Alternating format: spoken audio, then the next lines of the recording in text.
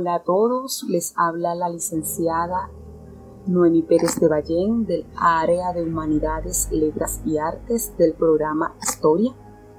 En esta oportunidad nos reúne el tema sobre los protagonistas de la campaña de Carabobo y en especial quiero hablar sobre el papel destacado de Rafael Urdaneta y de otro importante prócer independentista como lo fue José Laurencio Silva. Para dar inicio, pues, como antecedente de lo que fue este escenario bélico en Venezuela, de gran importancia hasta hoy, saben pues todos que esto se produjo el 24 de junio de 1821, en la llanura de Carabobo, en donde se enfrentan dos bandos, donde Bolívar también confía la jefatura de las divisiones a Cedeños y Plaza. Y Mariño en ese, en ese escenario es jefe del Estado Mayor.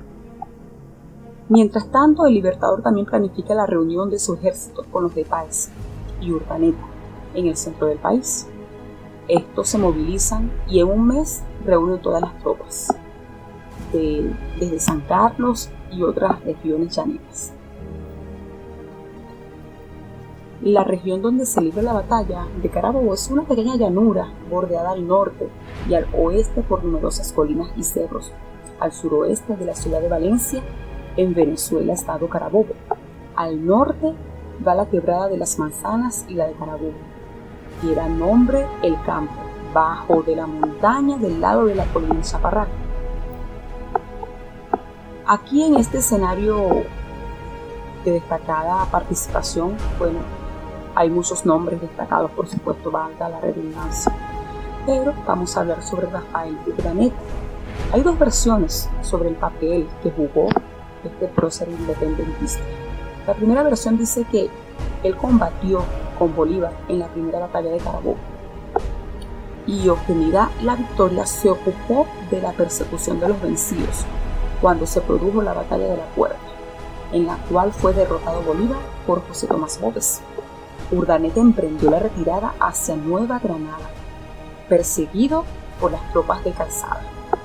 En Tunja, puso sus tropas a la orden de Bolívar, quien desde Carúpano había emigrado hasta allí. Con Bolívar operó en Santa Fe de Bogotá contra Manuel Bernardo Álvarez y como resultado de dicha acción fue ascendido a general de división el 5 de enero de 1815. Esta otra versión que dice que el general Rafael Urdaneta no participó en la batalla de Carabobo y fueron órdenes directas de Bolívar, dado el grado de agotamiento de sus tropas.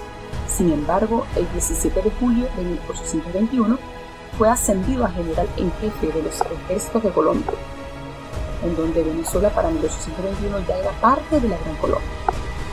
En su petición de ascenso, Simón Bolívar escribió de Urdaneta los importantes servicios que el señor general de división Rafael Urdaneta ha prestado a la República en esta campaña, completando la libertad de las provincias de Maracaibo y Coro. Le hacen acreedor al inmediato ascenso a general en jefe de los, de los ejércitos de Colombia.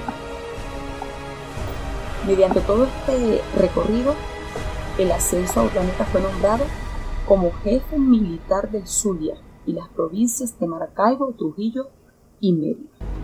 Posterior a todo esto, de papel de gran connotación para nuestro país y de gran trascendencia, porque hasta hoy hablamos de Rafael Urdaneta como ese hombre aguerrido, combatiente, fiel, leal al libertador Simón Bolívar.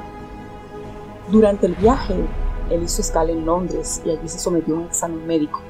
Esto fue posterior a todas sus sus luchas, eh, pues él ya venía con viejas dolencias y los facultativos le indicaron la necesidad de una intervención quirúrgica, pero Urdaneta, deseoso de llegar y llevar a feliz término a la comisión que le condujo a Europa, aplazó el tratamiento y partió para París.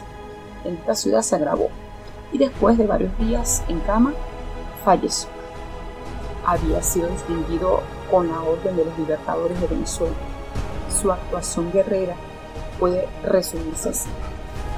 Estuvo presente en 26 batallas, 9 sitios y 2 asaltos a fortalezas. Hoy en día sus restos reposan en el Panteón Nacional desde el 16 de mayo de 1876. También destacaremos otro nombre y hombre de gran relevancia histórica en esta gesta emancipadora. Y hablaremos de José Laurencio Silva. Él fue general en jefe del ejército de Venezuela en la guerra de independencia y los años subsiguientes. Participó en 17 batallas y combates menores durante la gesta emancipadora. En 1810 se enrola en el batallón número 9 del Pinar, con el empleo de subteniente de milicias. Ese mismo año, bajo las órdenes del brigadier Francisco Rodríguez del Toro, participa en la campaña de Coro. Terminada esta campaña, Silva queda en guarnición entre Baragua y Zipiziqui. En 1811, con el general Francisco de Miranda, toma parte en las acciones para reducir la disidencia realista de Valencia. Tras la pérdida de la Primera República, Silva se tiene que ocultar en los bosques del Guárico y Copérez, donde lleva a cabo actividades de guerrilla. En 1813, cuando Simón Bolívar pasa por San Carlos, decide unirse al ejército libertador con un escuadrón de caballería. El 31 de julio de 1813, combate en la batalla de Taguanes. Entre ese año y 1814 participa en casi todas las acciones tácticas libradas en lugar.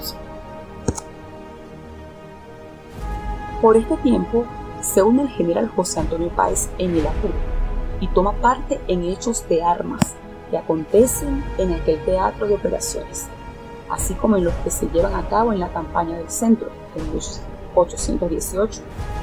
Después de la batalla de Calabozo, es ascendido a teniente coronel. En 1819 actúa en la campaña de Apure y allí permanece al lado de Paz, mientras Bolívar desarrolla su ofensiva en Nueva Granada.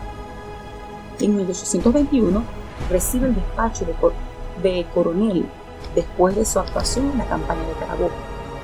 Con Bolívar marcha ese año al sur y combate en la batalla de Bomboná el 7 de abril de 1822. Luego de un año en Guayaquil, Quito, sigue con Bolívar hacia Perú, donde toma parte en la campaña libertadora. El 6 de septiembre de 1824 combate en Junín y el 9 de, diciembre de 1824 en Ayacucho. En esta acción recibió tres lanzazos, por lo que fue ascendido general de brigada. El 7 de marzo de 1855 es ascendido a general en jefe.